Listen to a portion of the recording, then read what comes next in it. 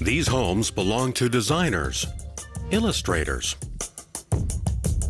and stylists. They have one thing in common they all live in Berlin, and all of them were paid a visit by Frederik Frede and Tim Seifert. In 2009, the pair started the online project Freunde von Freunden, or Friends of Friends. The idea was that behind every interesting person is an interesting home. We always like to see how other people live. Many people look at our website and use it as inspiration for decorating their own apartments. It started with apartments belonging to the pair's circle of friends, but word gradually spread. Each month, around 150,000 visitors to the site take a look at how Berlin's creative community lives. All that interest encouraged them to publish a book.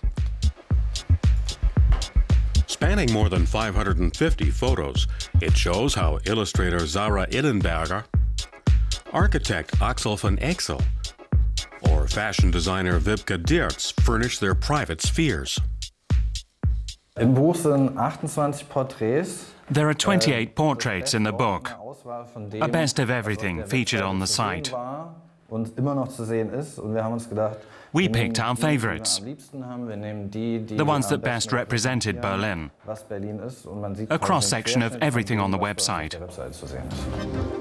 Another successful interiors blog was started by American photographer Todd Selby in 2008.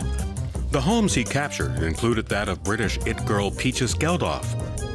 The blog quickly spawned imitators like Solebich.de in Germany. Users can upload snapshots of their own living spaces.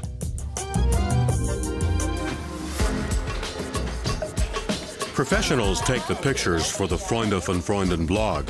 Here, the team visits gallery owner Sabina Schmidt in her apartment. The photos capture the rooms as they are. Every portrait includes an interview. Visitors to the blog should get an impression of the person who inhabits the spaces. That includes their creative environments, like the gallery owner's exhibition room. Voyeurism plays a part, as does wanting to know how other people live. But the selection of people is very important too, including the stories they tell. One of the most spectacular apartments in the book belongs to the couple Karen and Christian Boros. They live in a converted bunker dating back to 1942.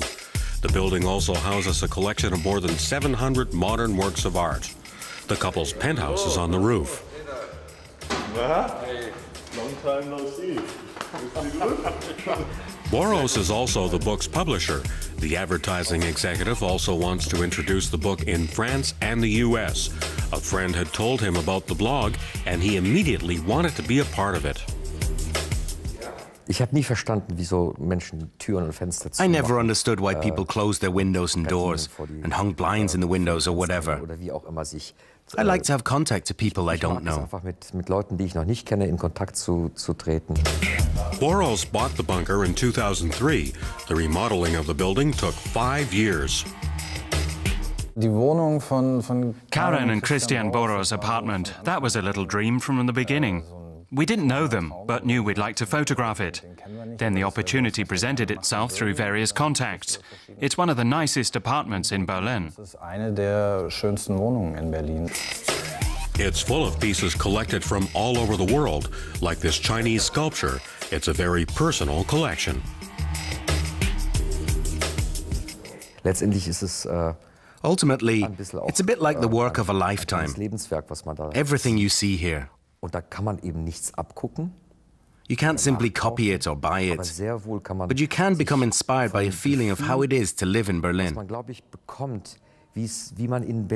The feeling of following your own rules. And Berliners aren't the only ones opening their doors to the web.